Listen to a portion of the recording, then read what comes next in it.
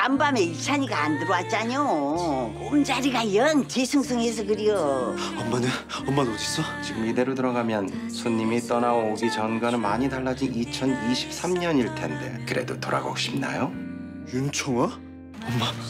엄마! 이 집에서 수화는 금지입니다. 지금 이게 뭐 하는 짓입니까? 따님에게 세상을 돌려주고 싶습니다. 다리를 놔주고 싶어요. 이찬아 난데 계속 연락이 안 되네. 내가 찾았어. 하은결.